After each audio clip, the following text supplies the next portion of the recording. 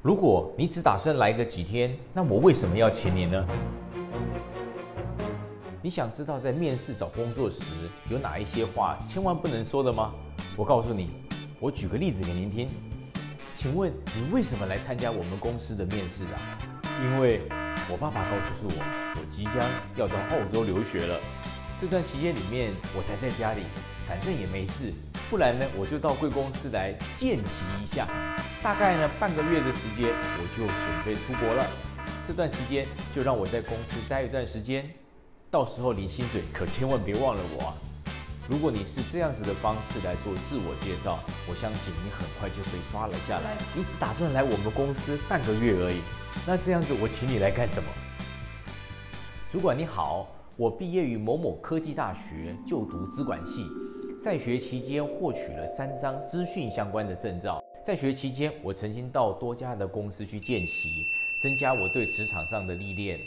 我分为短期、长期跟中期的目标。短期的目标，我希望可以再获取两张资讯相关的证书，机会到公司来参加面试。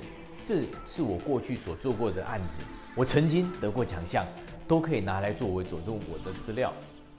希望在未来的目标可以当上贵公司的工程师，在职业上为我自己增加一个好的经历。谢谢。最重要的就是要分成短期、中期跟长期的目标，尤其是具体的介绍。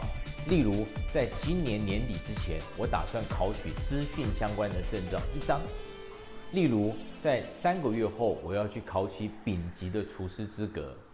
例如，在过去期间，我曾经做过价值两百万的案子；例如，在过去的期间，我曾经有担任三年以上的工程师经验。如果你开始有了社会经历，不要只是着重在你的个人特质，你应该加强在过去解决的方案。例如，过去在公司期间发生了一个突然重大的事情，你如何解决？我是一个专案人员，过去。曾经有案子衔接不上的时候，是由我主动去两家公司协调，跟政府公部门提出了解决方案，才解决了公司前一个问题。如果你掌握了以上几个观念，相信你在下一次找工作的时候，必定能够找到你理想的工作。